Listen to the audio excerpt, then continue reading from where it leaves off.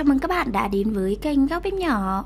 Hôm nay mình xin chia sẻ đến các bạn một món ăn vặt Đảm bảo rằng không chỉ trẻ em mà người lớn cũng sẽ mê tít Đó chính là món bánh khoai lang cuộn nhân phô mai, chiên xù. Các bạn hãy vào bếp cùng với kênh Góc Bếp Nhỏ để tìm hiểu cách làm món bánh khoai lang cuộn nhân phô mai, chiên xù này nhé.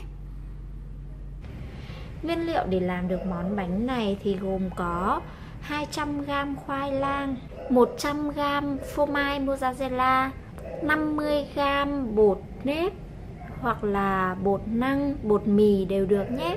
Một thìa canh đường cát trắng một thìa canh muối trắng một quả trứng gà và bột chiên xù. Bây giờ chúng ta sẽ bắt tay vào làm. Đầu tiên thì các bạn cần chuẩn bị cho mình một chậu nước. Sau đấy các bạn cho 3 phần tư thìa cà phê muối vào trong nước và khuấy tan muối ra. Phần muối còn lại này thì mình sẽ cho vào bánh nhé. Tiếp đến thì mình sẽ gọt vỏ khoai lang.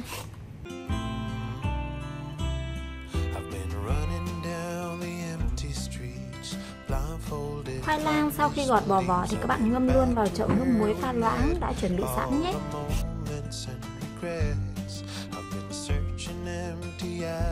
Khoai lang sau khi gọt vỏ thì các bạn sẽ cắt khoai lang ra thành các miếng mỏng để lát mình hấp cho nhanh chín nhé.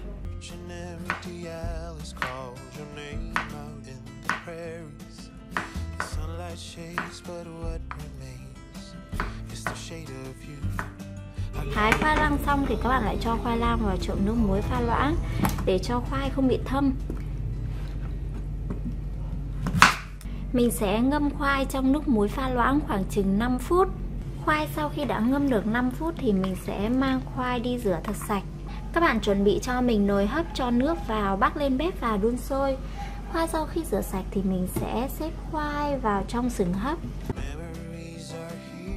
Đợi nước sôi thì mình sẽ cho sừng khoai vào hấp. Nồi nước đã sôi rồi. Mình sẽ cho sừng khoai vào hấp các bạn hấp khoai trong khoảng chừng 15 đến 20 phút cho đến khi khoai chín mềm nhé.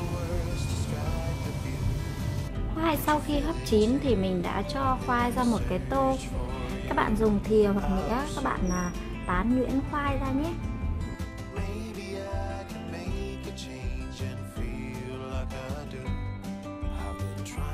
Và đây là khoai sau khi mình đã tán nhuyễn Bây giờ mình sẽ cho vào cùng với khoai một chút xíu muối một thìa canh đường. Và phần bột nếp mình đã chuẩn bị sẵn và trộn đều lên cùng với khoai.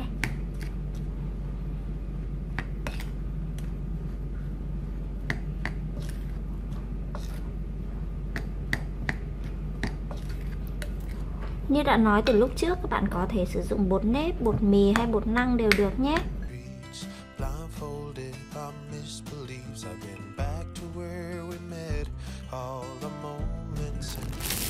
Theo thì mình sẽ nhồi khoai. Bạn nào mà thích bánh khoai có vị béo ngậy hơn thì à, các bạn có thể cho thêm một chút bơ vào, Hoặc là cho nước cốt dừa vào cũng được nhé.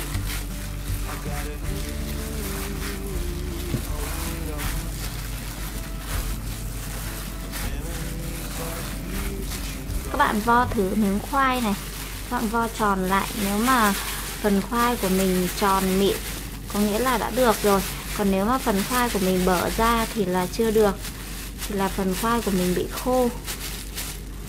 Khoai của mình dẻo như thế này là được rồi. Nếu khoai khô thì các bạn có thể cho thêm một chút sữa tươi hoặc nước cốt dừa vào cũng được nhé.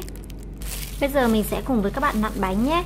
Phần phô mai thì các bạn cắt ra thành các cái miếng vuông như thế này này. À, Các bạn thích ăn nhân to thì các bạn cắt miếng phô mai to. Còn các bạn là thích ăn nhân ít ấy thì các bạn à, cắt nhỏ nhé mình sẽ chia khoai lang ra thành các cái viên tròn. Tùy theo sở thích, các bạn là thích làm chiếc bánh khoai lang to hay nhỏ mà các bạn chia phần khoai lang ra. Mình sẽ ấn dẹp phần khoai lang ra như thế này. Sau đấy mình sẽ cho miếng phô mai vào giữa và gói tròn lại.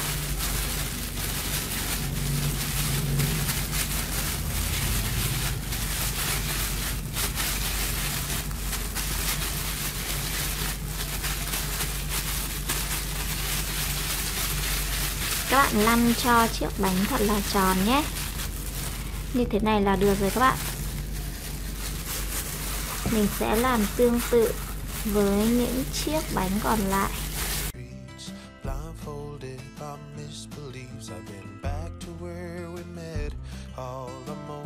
Và sau khi nặn bánh xong thì mình đã có được 8 chiếc bánh khoai lang bọc phô mai như thế này. Trứng gà thì mình sẽ đập ra một cái bát Và đánh tan trứng gà ra.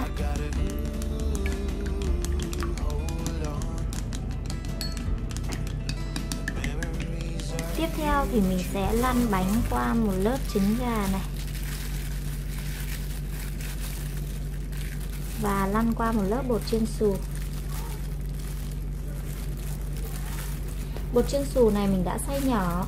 Các bạn có thể xay nhỏ bột chiên xù ra Hoặc là à, các bạn để nguyên bột chiên xù Các bạn lăn cũng được nhé. Mình sẽ làm tương tự đối với các phần bánh còn lại.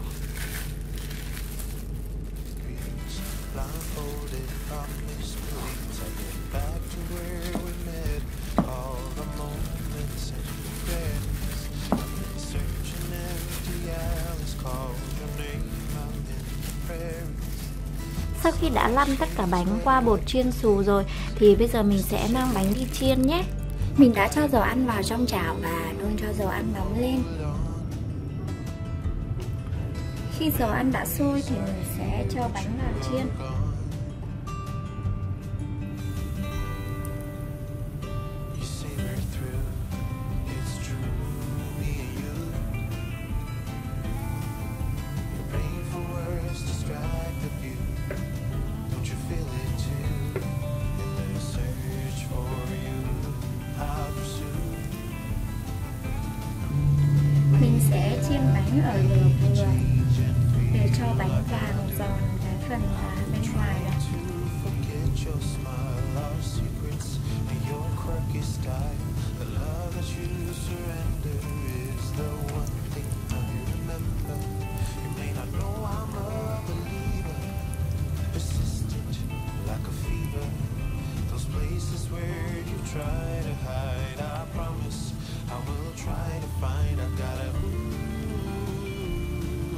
Chiên bánh ngập dầu được thì bánh sẽ vàng đẹp hơn đấy.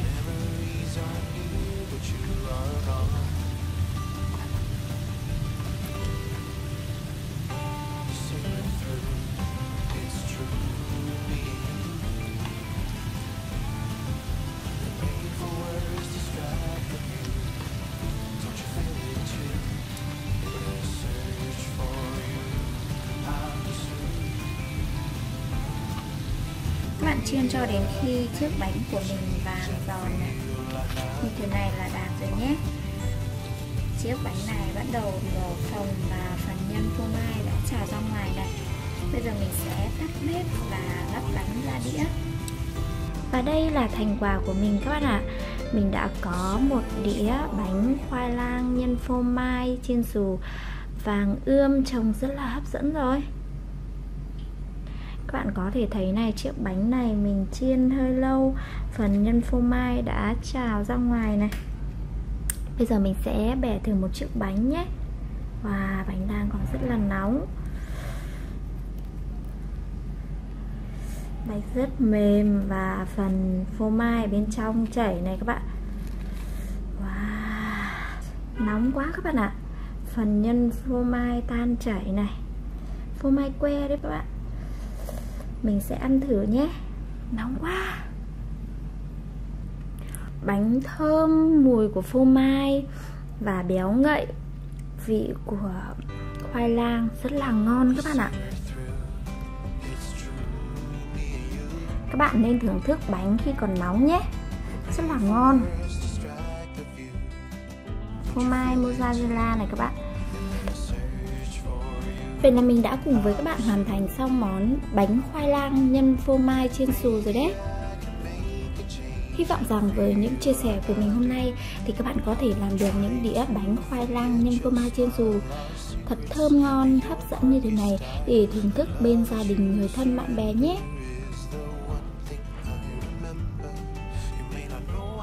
Cảm ơn các bạn đã theo dõi video. Nếu thấy video hữu ích, các bạn đừng quên nhấn like, chia sẻ video, đồng thời đăng ký kênh ủng hộ mình nhé.